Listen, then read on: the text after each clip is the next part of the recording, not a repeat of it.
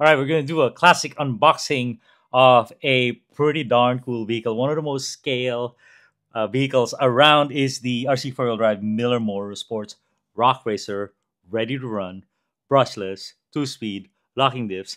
And this was introduced about six months ago, but it quickly came out of stock, and now it's in stock. So now I have my own to really play with. And what I'm gonna do is I'm gonna test it right now, show you what's up, and then take it outside, see the top speed, do some jumps and whatnot, and then we're gonna upgrade it, upgrade the uh, you know whatever needs upgrading. So let me know if you have any ideas, and if this is something you're interested in, click on the links in the description. That's how RC Review uh, pays the bills uh, through the affiliate links, and it will help us out. 16.2 miles an hour.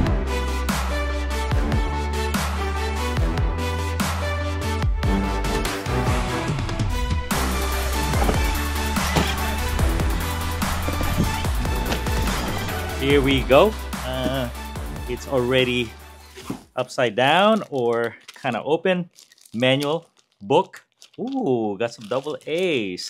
I already have some double A's handy, but uh, this uh, nice book. Uh, some decals.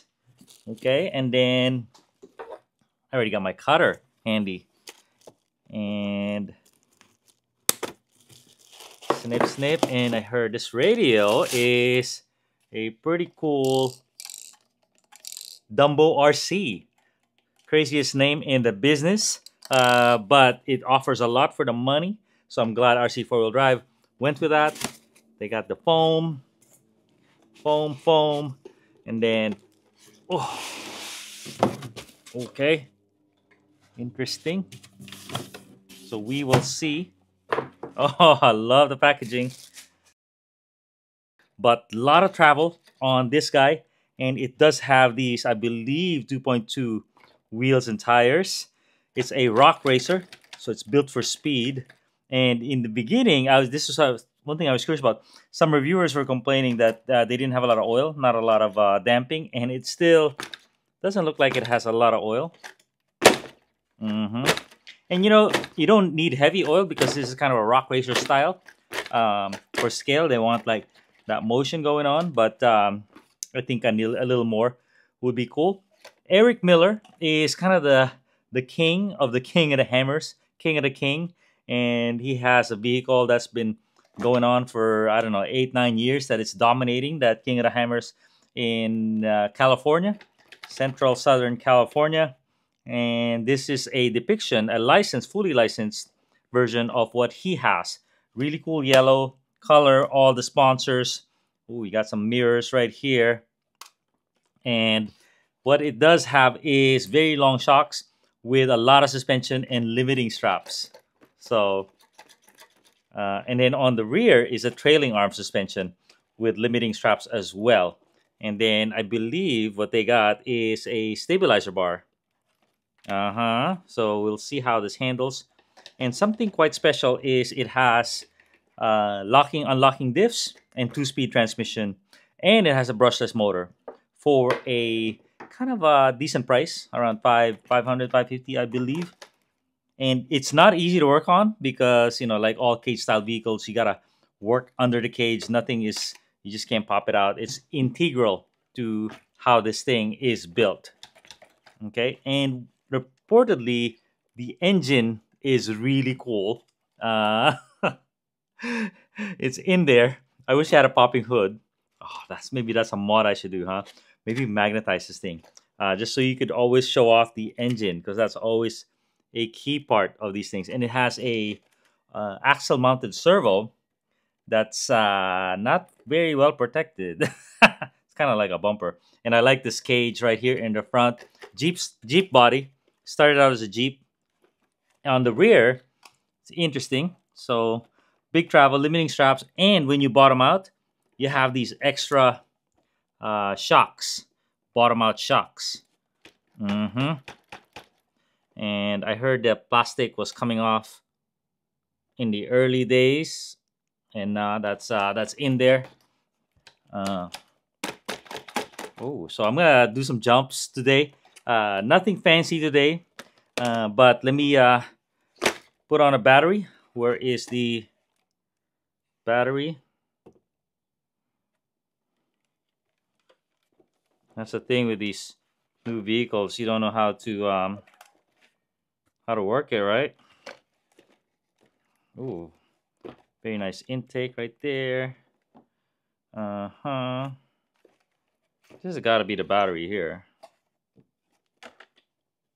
Oh, receivers in the back. Mm-hmm. Mm-hmm. Oh, I remember now. I remember. I remember. I saw this somewhere. It's on the side panel. So here is a body clip. Okay. Uh-huh. Not that. And it's got an XT60. That's super cool. I already made a modification. So I got these RC4 KC lights and boom, I got them. They're made of metal, so pretty cool. And I just kind of wired them into the receiver and it's working. So let's see the operation of this thing. It has a handy dandy switch right here. Uh-huh, boom, and you see the lights. And I don't think it has lights built in, which is kind of unfortunate because it has a, oh my God, it has a nice uh, lens right here and a lot of lenses on the rear. So just serves, uh, serves us right that we, I put a light bar. Really nice fans in the back, mirror here. I think I'm gonna run it like this. It would be nice to do a cutout like right here so at least people can see that engine bay. I just don't want to ruin that thing, but I will try. And then let's turn it on. So steering, it's quite good. Nice and smooth. My calibrated hand says about 160 ounce inches. And then quite a few options on this guy. So I'm running 3S right now. Okay, so currently running rear-wheel drive with a switch, and this is the low gear. Pretty smooth drive drivetrain, huh? Pretty quiet. Got on, uh, it's on full drag brake, and then with the flick of the switch here, goes to two-speed. Quite a bit faster. Still on full drag brake.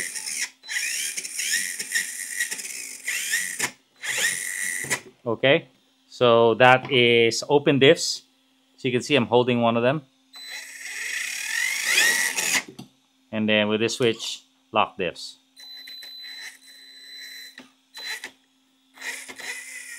Okay, so I think I gotta adjust the trim for my two-wheel drive, front-wheel drive, but uh, we'll take it out for a ride right now, all right? Okay, on the shakedown ride, it wasn't quite going into four-wheel drive mode. So I opened the servo box and I saw the middle servo. It was working okay. And leading where that connection goes, it goes to this little cable right here. And it just wasn't returning. So uh, lubed it a little bit and then it was fine. And here's a little shakedown ride. Pretty smooth, but I noticed a couple things right away. One is it seems to be on full drag brake and it's a little a little bothersome because it uh, it disorients itself. Once you let out the throttle it just goes on full brake mode. Uh, can flip over and uh, it kind of steers in a strange direction. Uh, and another thing is it's super bouncy. So I have to open the shocks and that will come shortly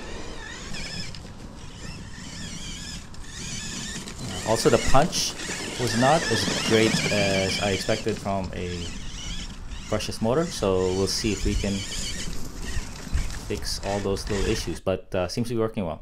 Okay how we do the motor is it actually is programmed with a Hobbywing card just plug into the ESC where the fan was plugged in and then follow the uh, table on the manual. So definitely I took out all drag brake 0% I put the punch all the way to the max and I also increased the timing make sure I was on forward brake reverse. And then for the shocks open them up only got the rears done.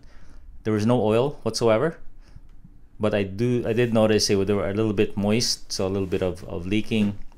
Perhaps so I put some some green slime and then put some 50 weight oil on the rears for the next shakedown shakedown ride and uh, seem much better than the front. Right, here so the the, top well. speed in first gear. Yes, that's peg. That's for the rock crawl segments, I guess.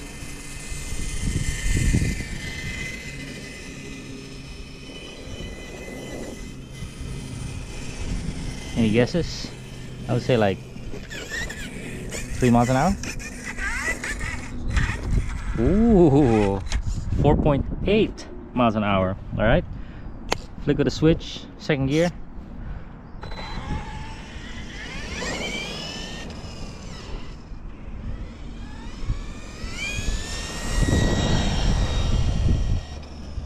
Much faster.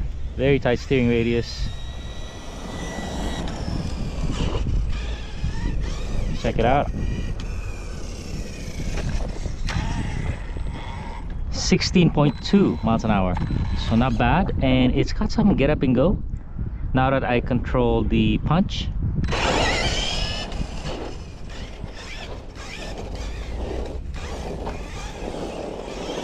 And it handles nicely. Good steering radius.